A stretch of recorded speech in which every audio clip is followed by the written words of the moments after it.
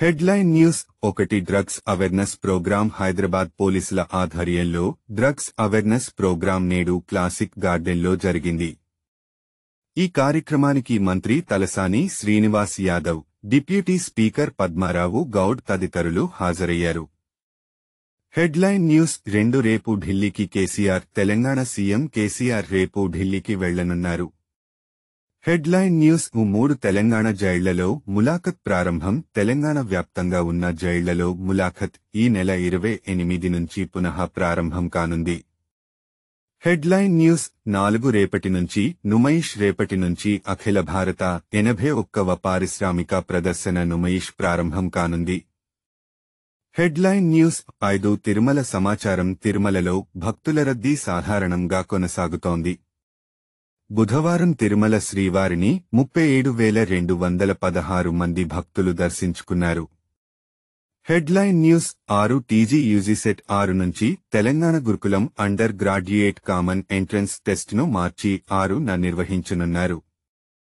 Headline news ఏడు తెలంగాణలో corona గడిచిన ఇరవై నాలుగు గంటల్లో తెలంగాణ వ్యాప్తంగా కొత్తగా మూడు వందల నలభై ఎనిమిది కరోనా పాజిటివ్ కేసులు నమోదయ్యాయి. హెడ్లైన్ న్యూస్ ఎనిమిది వాలంటీర్ల పోస్టుల భర్తీకి జగన్ ఆదేశాలు ఏపీలో ఏడు వేల రెండు వందల పద్దెనిమిది వాలంటీర్ పోస్టుల భర్తీకి ఏపీ సీఎం జగన్ నిర్ణయం మేరకు ప్రభుత్వ ప్రధాన కార్యదర్శి అన్ని జిల్లాల కలెక్టర్లకు ఆదేశాలు జారీ చేశారు. మొత్తం రాష్ట్ర వ్యాప్తంగా ఏడు వేల రెండు వందల పద్దెనిమిది వాలంటీర్ పోస్టులను భర్తీ చేయనున్నారు.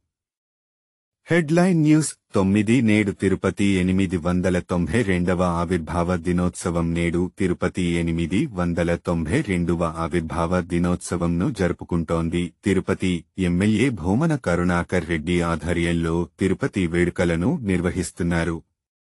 హెడ్లైన్ న్యూస్ పది బీజేపీ ఆధ్వర్యంలో అమలాపురం ఏపీ బీజేపీ ఆధ్వర్యంలో అమలాపురం కార్యక్రమం నిర్వహించారు. రాష్ట్రం కోసం కేంద్రం ఎన్నో నిధులు ప్రాజెక్టులు ఇస్తున్నా రాష్ట్రం తన వాటా నిధులను ఇవ్వకుండా వాటిని అడ్డుకుంటోంది అని ఏపీ బీజేపీ నేతలు విమర్శలు చేయడంతో పాటు కోటిపల్లి నరసాపురం రైల్వే లైన్పై రాష్ట్ర ప్రభుత్వ తీరును నిరసిస్తూ ఛలో అమలాపురం కార్యక్రమం నిర్వహించారు.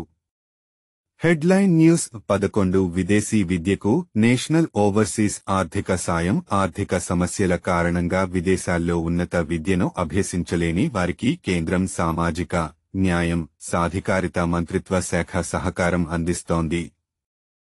హెడ్లైన్ న్యూస్ పన్నెండు విజయవాడలో పవన్ కళ్యాణ్ అభిమానుల నిరసన విజయవాడలో భీమ్ల నాయక్ బెనిఫిట్స్ వేయాలంటూ పవన్ కళ్యాణ్ అభిమానులు నిరసనకు దిగారు. హెడ్లైన్ న్యూస్ పదమూడు ఇండియన్ నేవీలో ఎస్ఎస్సి ఆఫీసర్ పోస్టుల భర్తీ భారత ప్రభుత్వ రక్షణ మంత్రిత్వ శాఖకు చెందిన ఇండియన్ నేవీ వివిధ విభాగాల్లో షార్ట్ సర్వీస్ కమిషన్ ఆఫీసర్ పోస్టుల భర్తీకి నోటిఫికేషన్ జారీ చేసింది. హెడ్లైన్ న్యూస్ పద్నాలుగు ఇష్టమొచ్చినట్టు మాట్లాడితే ఊర్కోం తెలంగాణ మంత్రి ప్రభుత్వంపై బీజేపీ నాయకులు వచ్చినట్లు మాట్లాడితే ఊరుకోబోమని తెలంగాణ మంత్రి ప్రశాంత్ రెడ్డి హెచ్చరించారు. హెడ్లైన్ న్యూస్ పదిహేను ఫుట్బాల్ కోచ్గా అమితాబ్ బచ్చన్ ఫుట్బాల్ కోచ్గా బాలీవుడ్ సూపర్ స్టార్ అమితాబ్ బచ్చన్ కనిపించనున్నారు. మార్చి నాలుగవ తేదీన విడుదల కాబోతున్న జాండ్ సినిమాలో అమితాబ్ ఆ పాత్రలో కనిపించనున్నారు. హెడ్లైన్ న్యూస్ పదహారు భారత్లో కరోనా గడిచిన ఇరవై నాలుగు గంటల్లో దేశవ్యాప్తంగా కొత్తగా పద్నాలుగు వేల నూట నలభై ఎనిమిది కరోనా పాజిటివ్ కేసులు నమోదయ్యాయి. హెడ్లైన్ న్యూస్ పదిహేడు బాధ్యతలు చేపట్టిన గౌతమ్ సవాంగ్ ఏపీపీఎస్సీ నూతన చైర్మన్గా మాజీ డీజీపీ గౌతమ్ సవాంగ్ బాధ్యతలు చేపట్టారు.